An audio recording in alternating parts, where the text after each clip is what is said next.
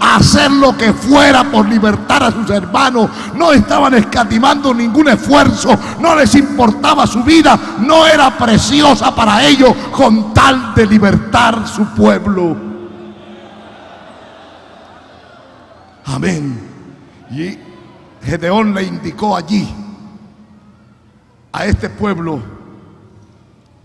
y no le dio armas como para la batalla sino que le dio una estrategia rara, una estrategia diferente a la que cualquier otro que fuera a enfrentar a sus enemigos hubiera usado.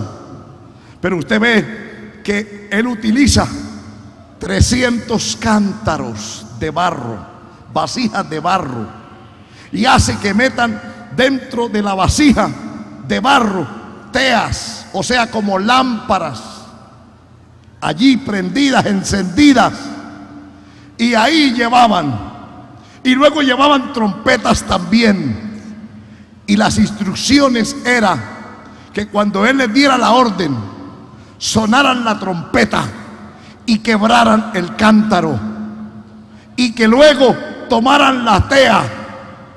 Y lo que quiero señalar aquí es que mientras la tea estaba dentro de la vasija, de barro, aunque estaba encendida, la gente, especialmente los enemigos ni nadie, veía la luz y pasaban inadvertidos.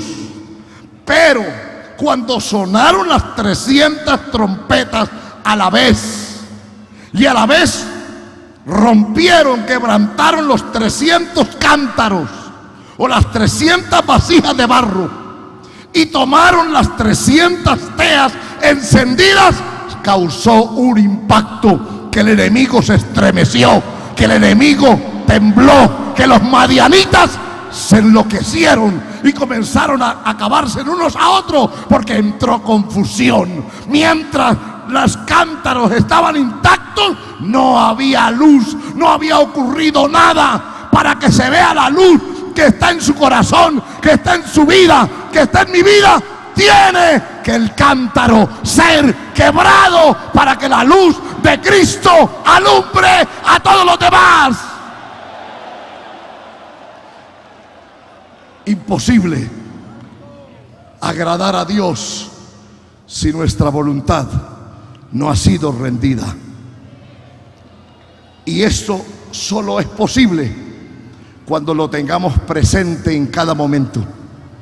Cristo había venido a este mundo con una misión específica, única, y era redimir al hombre. Y ir a la cruz era parte, era lo más crucial, lo más difícil. Pero allí, antes de eso, no hubo un solo momento en la vida de Cristo aquí en la tierra que hubiese olvidado o que no hubiese tenido presente que había venido para hacer la voluntad del Padre. Por eso aquí dice, no puedo yo hacer nada por mí mismo. Tal vez mucha gente le pedía que hiciera otras cosas, que fuera a otros lugares como el caso de Pedro, que le trata de persuadir de que no vaya a Jerusalén, que allá le espera martirios, que allá los quieren matar, que tuviera cuidado de sí mismo. Y así sucesivamente, tal vez muchas cosas se le pedía que hiciera. Y él decía, yo no puedo hacer nada, nada por mí mismo. De mí no pueden nacer nada de mí no puede brotar ningún proyecto. Si yo quiero agradar a Dios, yo tengo que esperar que venga de Él la dirección. No es de mi corazón, de mí no puede surgir, de mí no puede nacer. De mí no puede crecer ningún proyecto aquí en la tierra porque yo no estoy aquí para hacer mi voluntad. Yo no estoy aquí para agradarme. Yo no estoy aquí para agradar a los hombres. Yo no estoy aquí para complacerme. Yo estoy aquí para hacer la voluntad del que me envió, la voluntad del Padre.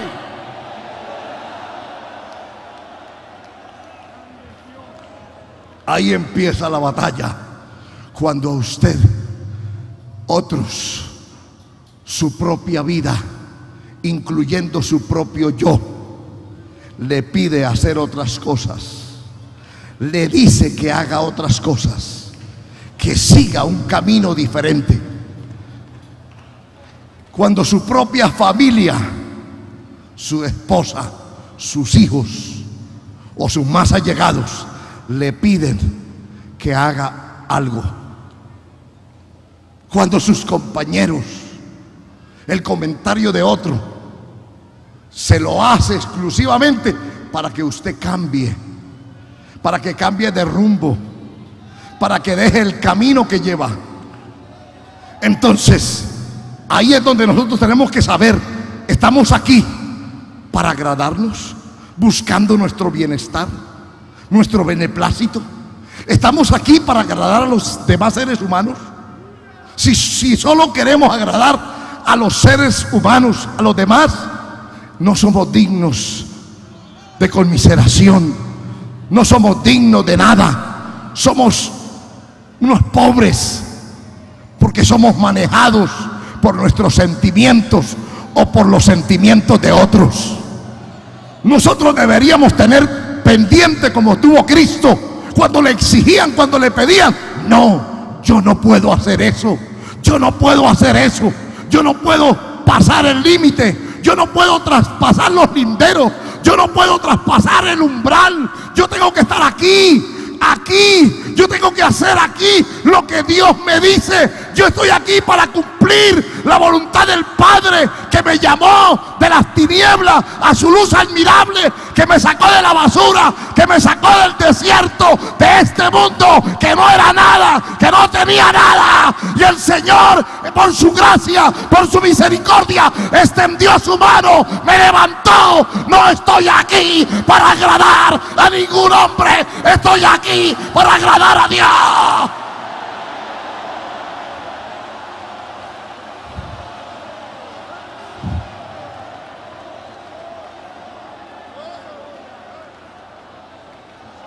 Aleluya. A Él sea la gloria, hermano. No estamos aquí para complacer a nadie. Esto no es de complacencia. Esto no es para entretener. Esto no es un espectáculo que hemos venido a presenciar. Esto es palabra de Dios. Esto es la demanda de Dios. Dios pide rendirnos. Dios pide vivir en santidad. Dios pide entregarnos. Dios pide que no escatimemos nada. Aleluya. Santo es su nombre. Aleluya. No puedo yo hacer nada. Oye hermano. Y está hablando Cristo. Está hablando el Hijo de Dios. Pero para poder hacer esto, el primero tuvo que despojarse de su trono, de ser igual. No dice Filipenses 2, no tuvo en cuenta el ser igual a Dios como cosa a que aferrarse. Él no se agarró a los privilegios y a la gloria, se despojó de ella para poder venir a este mundo, para poder humanarse, para poder estar en condición nuestra. Y estando en la condición nuestra, no se aferró y dijo, yo soy mejor que ustedes. No, se hizo obediente hasta la muerte y muerte de cruz. Pero por haberse humillado, voluntariamente entregado hasta la muerte y muerte de cruz, Dios el Padre le exaltó hasta lo sumo y le dio un nombre que es sobre todo nombre, para que en ese nombre se doble toda rodilla y toda lengua confiese que Jesucristo es el Señor para gloria de Dios Padre. Aleluya.